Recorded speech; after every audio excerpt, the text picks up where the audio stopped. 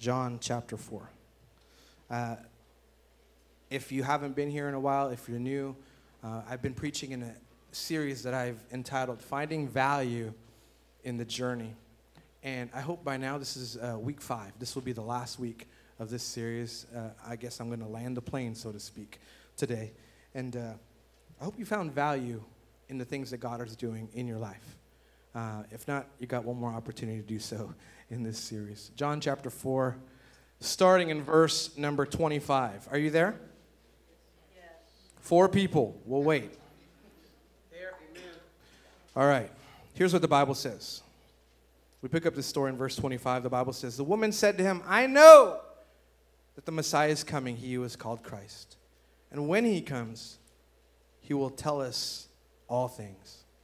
And Jesus said to her, I who speak to you am he. Just then the disciples came back. They marveled. Turn your neighbor and say, marveled. marveled.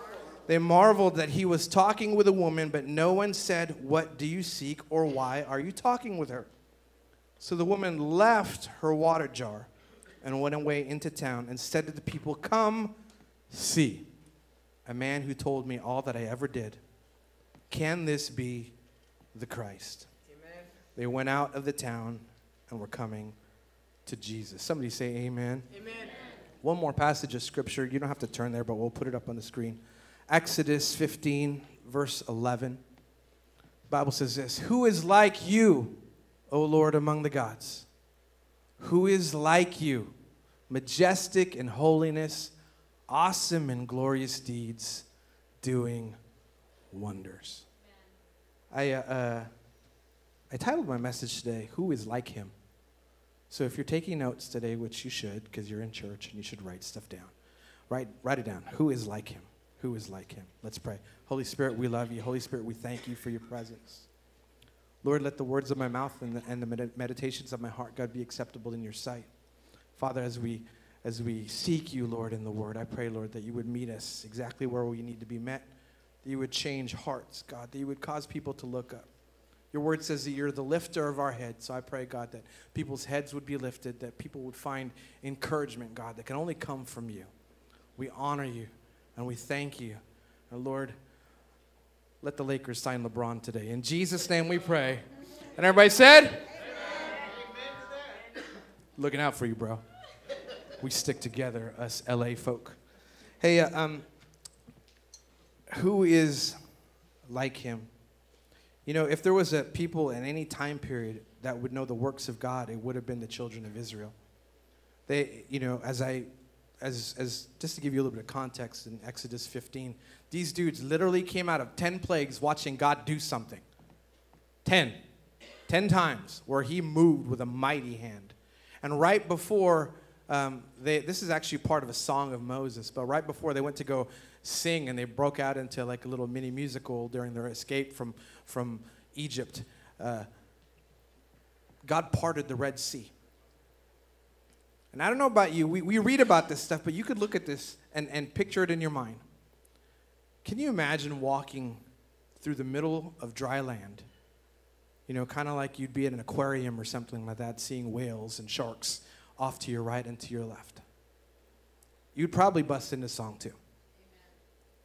And one of the things that they said during this passage was, Who is like you, O Lord? If you've had any kind of experience with God, God will always cause you to scratch your head, go, Man, there's nobody like you. None. It doesn't matter what twists and turns your life uh, have taken. Most of the time, you will always come out right on top if you're yielded and submitted and following God. These people, the children of Israel, knew by experience and they sang from experience. Sometimes we will take somebody else's word at face value and we just kind of go do what they do and sing because they sing, and you don't really have a genuine personal experience with God. And today, I, wanna, I want you to be able to answer the question who is like him for yourself? I know what my grandma says. I know what my mom says about God.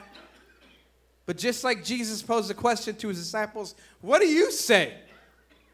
I think sometimes when you come back to that moment in your life and you revisit that, it will push you further than you, you thought you could go. Those moments when you're feeling tired and you feel like I'm worn out, and gosh, I'm so weary, Lord. What is going on? I, you know, I, I could see you doing good things, but who is like you, really? And the moment that you put yourself in that space, I call it the space of wonder. Once you put yourself back in the space of wonder, you will come to a realization that God is moving so much on your behalf. You know, I'm of the belief that the greatest miracles don't often look like miracles. That's just my personal perspective of miracles. The greatest miracles don't often look like miracles. I'll give you an example. You know, like in 2013, like I had literally, like, I, I used to sell real estate, and so uh, this is coming out of the, you know, the Nevada real estate depression, so to speak. You know, things were really, really bad in the housing market. I hadn't sold a house in like forever. My, my, my savings was depleted. You know, I, I, I was working at my old job that I used to work at that I went back to, um, you know, after being successful in, in real estate. And 2013 comes along, and I had no, like, frame of mind to de- uh, nor desire to want to buy a house. And my wife said, "Hey babe, we should go buy a house." I'm like, Ugh. "No." You know, you, you, you ever get that feeling where you know you feel like you're revisiting an old pain that you don't want to go visit anymore? Like, no, leave that alone. We lost our house, remember? You know, we got the scars. Look, and and and. But she said, and you know, when she says, she's got like the Jedi mind trick, house buy we will, you know, and and so I was like, okay, fine, you know, and so we went, I didn't think we'd get approved. We went and got approved. I'm like, whoa, you know, we got approved. That's, that's incredible. And so we were looking for houses, and they gave us a small, like, dollar amount. That, you know, this is all you can afford to buy to stay at the payment that you've been in or that you'd like to. And so we started looking, and then and when we were looking, you know, there was nothing in the area that I that we thought we should live in. We wanted to be in a specific area of Henderson like to the street. I was like, I want to be off this street, God. And I felt God said, okay. I was like, okay, cool. So we looked over there. Everything there was twice the amount of what we wanted. And after a while, I got discouraged. After a while, we started like, you know, moving away from where we thought we should be. We started compromising a little bit. Well, maybe not that street. Let's go a couple streets down. Maybe not that street, let's go even further down. And the next thing you know, we were looking in places where we didn't want to really be, but it seemed like we were just trying to buy a house for the sake of buying a house. And so, you know, there was so much compromise that Sarah and I actually came to agreement. I pulled the Jedi mind trick on her, and I said, "Babe, let's not look at houses for 21 days." And you know, you know the time period when a house would go on the market and boom, it was gone, right? And that like, as soon as they list it, it was that time. And she's like, but honey, we will never find a house that way. I was like, well, we need to just trust God. So we stopped looking. 21 days. Day 18 comes. And then uh, I get a phone call from my brother-in-law say, saying, hey, you know, we're, we're looking to go, uh, we're going to go look at a house that we were thinking about buying, but it's too big for us. I don't want it. Do you want to look at it? It's not on the market yet. And then I go, well, where's it at? And he told me that it was off the street that we were exactly looking for. And I said, Babe, we're going to go look at a house today. She's like, Yeah, but it's 18 days, honey. It's not 21 days. My wife is, a, if you know my wife, she's very black and white. You say 21, it's 21. Not 21.2, not 20.5, it's 21. I said, Yeah, but honey, our house is ready. And you know, you know how I could be like the most powerful man of God in the history of men. And she would just kind of look at me like, okay. So we go. And then I literally, this is how confident I was, and this is how, how, how, how I felt the situation was anointed. I walk up to the house, and my nephew was climbing on the tree and hanging on one of the branches. And I told him, dude, get off my tree. And then he was like, yeah, but I thought we were buying this house. Nope, this is my house, boy. Needless to say, that was the house that God had for us. As soon as we walked in, you just kind of knew. And here's how I knew is that a week into being under contract, they said, uh, hey, you know what? The appraisal doesn't come quite to the amount that you thought you were getting for, and we were getting it for a deal. I said, we have to lessen the price by $5,000 within the first week of us being under contract. You know, like I was really gonna go, oh, really? Shucks, I don't want it anymore. No. No, I was like, okay, you know, okay, you know. And so we got that house. Some of you might look at that and go, gosh, it's a miracle. And you know, that is. But to me, the greatest miracle out of all of that was that my brother in law called me. The greatest miracle was that my brother in law, who had no idea we were fasting houses for 21 days, who had no idea that we wanted to live off of that street, called me and said, We're about to go look at a house that we don't want. Think about that for a second. Out of the blue, you call somebody and go, Hey, we're about to look at a house that we don't really want. To me, I'd be like, Well, why are you going to go look at the house? But for him, it was like, You know what? Something tells me that I need to go call Dodjiel because if I call Dodjiel, and I, am just going to say, Hey, you, you might want this house. And that was the house that we, we still live in, and that's the house that we want. The greatest miracles don't often look like miracles. If you go in the Bible, sometimes you look at the book of Jonah and you think, "Oh, whale! He got he got he got swallowed up by a big old fish." That's a miracle. To me, the miracle starts in verse 1. Now the word of the Lord came to Jonah. God spoke to Jonah. The fact that God still speaks to people is a miracle in itself. You can't keep looking at the home run miracles because with God, everything is a home run miracle. Every single thing that He does is a miracle. Every single thing that He does causes you to pause and wonder who is like God? Nobody. There's absolutely nobody. You can take the Pepsi challenge to Buddha, whoever. I will take my God every single time. Every single thing that God does is, is one of those things like Arsenio Hall used to talk about, things that make you go, hmm, hmm, that's just crazy. There's times in my life where I was two cars away from a car accident.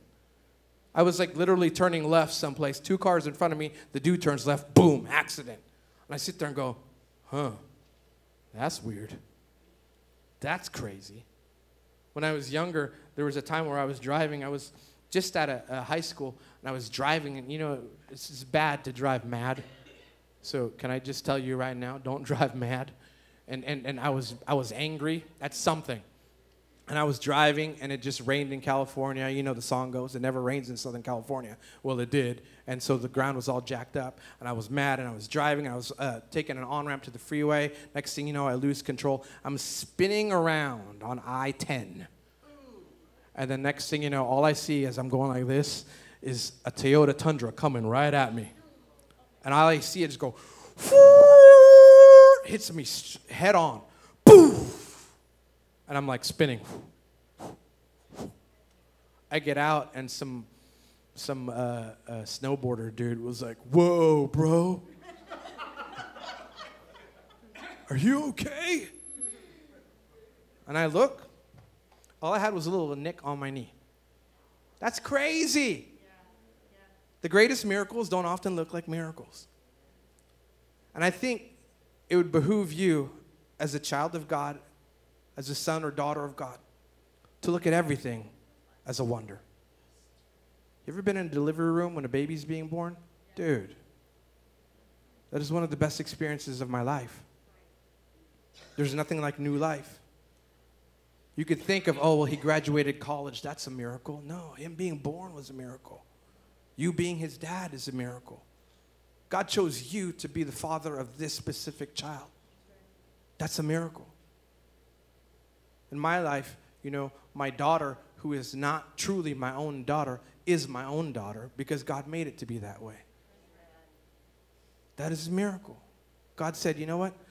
I know it's not working out with your father right now, but I'm going to give you somebody that's going to be a father to you. That's a miracle. That my child would grow up having a father. It's the same thing that happened with my son. Hey, I'm giving you a mom to have in your life during this time of your development. That is a miracle. With your spouse, you keep thinking, okay, we'll have date night or we'll go on family vacation. That will be the miracle. That's not the miracle. The miracle is you embracing your children and your spouse every single day of your life.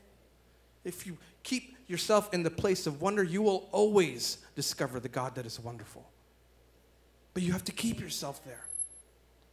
The disciples come back from this story. And if you're, if you're new to the story, John chapter 4 is about a woman from Samaria, from an area of Samaria called Sychar.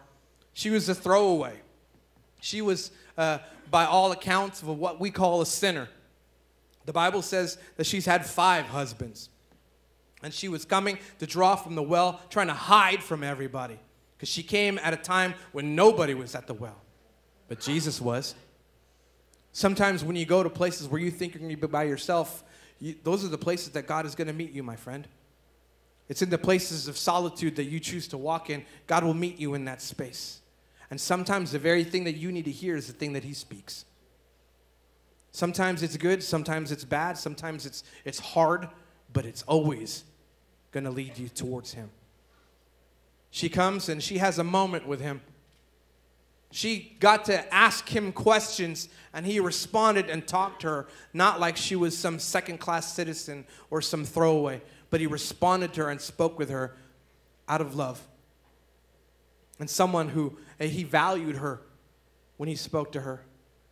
And in verse 25, we pick this whole story up, and she tries to, to flash this, this knowledge that she thinks she has about God to what she thought was a rabbi or someone of that stature. And she goes, Well, I know when the Messiah comes, he's going to tell us all kinds of stuff. And Jesus just breaks it down to her right there. Mic drop moment says, I am he.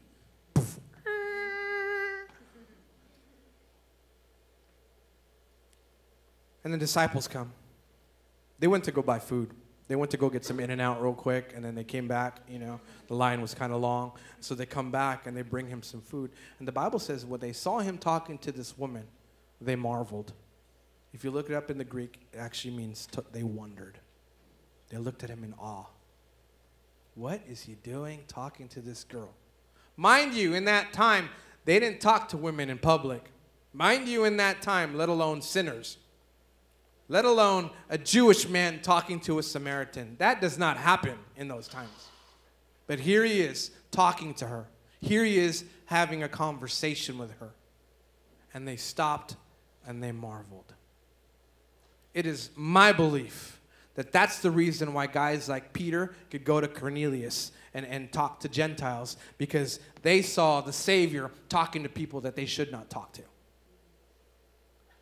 That's why I believe Philip had this crazy revival moment thing happen in Samaria because they knew that Jesus would go talk to those kind of people. That there was nobody that was not covered by the gospel of Jesus. That maybe if you're sitting here today and you're wondering, well, does that include me? Yes, it includes you. Everything that God does includes you. The devil wants to shame you into thinking that, no, it's not for me. I don't know if church is for me. Yes, it's for you. All we are is a bunch of imperfect people looking at a perfect God. The dude next to you isn't more holier than you. He's just as much of a human being, just as you are. Yep. Some have more hair, some don't. It's all good. But no matter what you think, no matter what you, you, you think that's happened to your life, God still cares and He still, he still loves to have conversations with His children. You know, there's so many things that happen in the rhythms of my life where I feel like when my kids come, you know, I have to challenge myself and go, this is not an interruption. This is not an interruption. I need to go talk to my kid. He's only eight once. You know, we went to a comic book convention uh, yesterday, and, you know, don't judge me. I go to comic book conventions. and so we went to a comic book convention, and we were walking around, and I, I'm telling you, as weird as that may be for you, I'm hanging out with my kids and my brother. It was time with them. This is a moment that they will, hey, dad, remember that one time when I was eight and we met the actor for Daredevil? Yep, I sure do. Why? Because I was present. The God who, who is in love with you is present with you. Here's the thing that they saw. These disciples saw a man and a woman, a man, a, a woman and Jesus having a quote unquote transaction. But the woman saw it differently. I think it's so weird that you and I choose to have transactions with God, but we fail to omit and, and we fail to, to have conversation with God. We're so bent on wanting to have a transaction with God. God, can you just bless my finances? Add a couple more zeros to it. God, can you heal this person because he's not feeling good? Lord, can you help me get a new job? You engage God for a transaction. He just wants a conversation. What about just talking to God about your day? It's rough, God. Those kids are mean. Lord Jesus, please get them saved. They were thinking that he was having a transaction with her when all she knew was that the Savior of the world was conversing with me. He was talking with me. He was speaking with me. And when you treat God like you want to have a conversation with him. Why? Because who is like our God? He's majestic in holiness. He's the only God. He's the God of wonders. He's the God of miracles. He's the God that would part Red Seas. He's the God that would cure your husband. He's the God that would heal your husband from anger. He's the God that would save your children. He's the God that no matter how far your kids have gone, they're always going to come back because of what you've taught them. The neat thing is that she goes and has a conversation with him. And as soon as she has a conversation with him and a moment with him, she leaves. And she goes. And she leaves her very own water pot that she brought over there. I can imagine this girl carrying a water pot and, and putting it in front of her and whoever was watching her walk. In the Philippines, they do that. They have, you know, um, they, they, they fill water pots or pails or buckets from a well and they take it back to their house. And when you don't want to talk to people, they'll usually put on the shoulder, and if you're over there, they'll put, you know, the, the, the pail or the bucket in between them and you so they don't have to talk to you. She used it like a shield for a relationship. I don't want to talk to nobody. I just want to go get my water and get back to the, to the house. After a moment with Jesus, the Bible says that she left her water pot behind. The thing that she was using to hold on to her shame, she left it behind. The thing that she was using to shield her from relationships, she left it behind. The thing that, that, that she used to, to, to, to just have an excuse to not be able to talk to anybody, she left all of that behind. And here's the thing when you have a conversation with God, God does not give you five points to change. He just causes you to run in a different direction, and the who you used to be gets left behind. God does not go, okay, hey, you want to have a talk? Okay, cool. Well, here's what you need to change about yourself first, okay? First, you need to shave because that thing is ugly. And then, two, you need to go change your clothes. He doesn't do any of that stuff. He just tells you, hey, look, I'm here. I'm here for you. You are my child. I take ownership of you. So much so that I will give my son so much so that it will cost me my son and his life to be able to have a relationship with you. That is the God that's, that you serve. Who is like him? Nobody. Absolutely nobody. Public service announcement for Sunday, July 1st, 2018. There's nobody like God. Amen.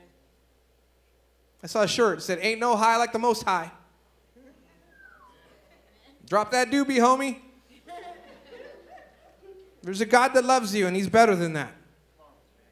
Stop hiding behind that thing that's, you know, we use those mechanisms sometimes so that we feel like we can fit in. You fit in just fine with God. You fit in just fine. Leave it behind. Start walking towards Him and watch, He will change you. Just a conversation with Him is the very thing that changes you. And she was changed so much so that she left who she, she hid behind behind. Is that even proper English? Behind, behind? I don't know. But she left it behind. There's some things I believe that you just need to leave behind. I want to go pursue God, and I, I just I feel God is so real, and I just need to go. I just need to go after Him. But can I bring this with me? No, leave it behind.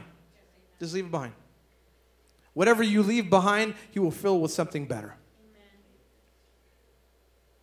She leaves and the Bible says she goes into the town. The very people she was trying to hide from, she goes into them. There was no like, okay, well, now that you believe in me, there's five points of evalu- uh, evangelism that you need to understand. Okay, we need to do this, this, this. No, no, no, no, no. All she did was she just she met the Savior face to face. He did not rebuke her, he did not condemn her, and she just all of a sudden became zealous for him. And she goes into the town and she says, Come see. I love words like that in the Bible. Come see. Well, I don't know if God's for me. Oh, yeah? Well, come see. I don't know if He's going to do this. Come see. You know, uh, in some Hebrew talk, that they would say that to repent means to look again at Jesus. Look again. Maybe you saw what your grandma saw, but what did you see? Because I believe that when you go into the place of wonder, you will discover who you truly are because you will find out who He really is. And when you go into that place and you find that place and you, you see God, you will know beyond a shadow of a doubt that that is the Christ and that is the Messiah. She says, Come see. Come see a man who taught me, who told me everything that I've ever done. And she says, Could this be the Christ? Could this be the Messiah? Could this be the one that was foretold from long ago? The King of Kings and the Lord of Lords, the author and the finisher of our faith. Could this be him? She went out to the very people that she was ashamed of, and she wasn't ashamed anymore. All you need is a conversation with God. And trust me, He will change you. Isn't that what we all want? I just want to be different. I'm tired of doing things this way. I know how this record plays out if I keep going. I just I want a new song. And God will give you a new song. God will give you a new path. Sometimes he'll tell you go back to the path that you're on, but just different you. And that's enough. And that's okay. If the greatest miracles don't look like miracles, what if it's just you showing up to church every single Sunday? Start there. And then you go, you know what? I want to get more involved. Then get involved. Maybe God's telling you, man, I really need to get baptized. Then July 29th, we got a date for you already, homie. Just go do it now. Come see. Turn your neighbor and say, come see. come see. And the Bible says that they all came to him. Ryan, will you come up and play so that I sound spiritual up here?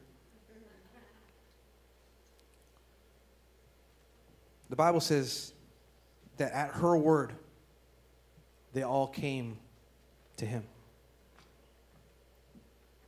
Sometimes the place of discovery in your life is just that you need to hear him say what, he, what you need to hear. Now, you know how many times in the Old Testament God will give an introduction of himself? He would say things like, Behold, I am the Lord God of Abraham, Isaac, and Jacob. He would give this. Sometimes you just need to hear that. No, I am God, and there's no one like me. Yeah, I know you're trying to make a lot of money, but I'm more than money. Yeah, I know you're pursuing success and all these things, and you might win at that, but you'll always feel empty. There's no one like me. None. Turn to your neighbor and say, For Monday. For Monday. If you're new to our church and you're wondering what that means, I just believe that everything that we do on Sunday ought to bleed into your Monday. What good is what I preach and what good is what, what you hear from God if you can't implement it into your Monday? So for Monday, turn your other neighbor and say, for Monday. Monday. Two words, come see. Come see. Come see for yourself. What does that mean? I don't know, maybe you need to crack open that Bible that's been on your bookshelf for a long time. Maybe you need to open that app that's been on your phone for a while because you said you were going to start, but you didn't. Go see for yourself. The Bible says the grass withers, the flower may fade, but the word of God lasts forever. It stands forever. The Bible says that, that, that, uh, that the word became flesh and dwelt among us, that Jesus is the word of God. Maybe you just need to go look for Jesus in that book that you, you have. Go see for yourself. Maybe you need to come to church not because your parents dragged you to church, but maybe you just need to come for yourself to go see for yourself. Maybe you need to go get baptized so that you could truly, truly know what it's like to become a new creation in Christ. Go see. Maybe, you know, we have a few weeks left for summer small groups. Maybe you just need to join a small group so that you could be with people. How we say, what God starts in a row, He perfects in a circle. Go circle around some people. You know, but I don't know a whole lot. That's okay. You'll find out that they don't know much neither. But they're worshiping and pursuing the God that knows everything. And that's what matters. Will you stand with me, church?